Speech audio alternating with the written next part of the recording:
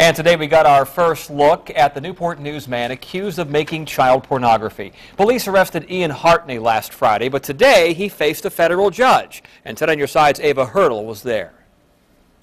An emotional Ian Hartney walked into the courtroom and couldn't hold back tears when he saw loved ones sitting behind him. 10 on your side obtained this picture of Hartney, a shipyard worker, from a social media page. Federal agents arrested him last Friday.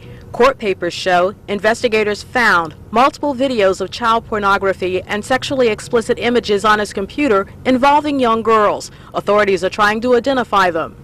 Charging documents also show, back in November, a computer repair company called police about what was discovered on his hard drive. Detectives also found sexually explicit images on a cell phone and digital camera that apparently belonged to Hartney. He waived a preliminary and a bond hearing Afterwards, family and friends had no comment as they walked to a waiting SUV.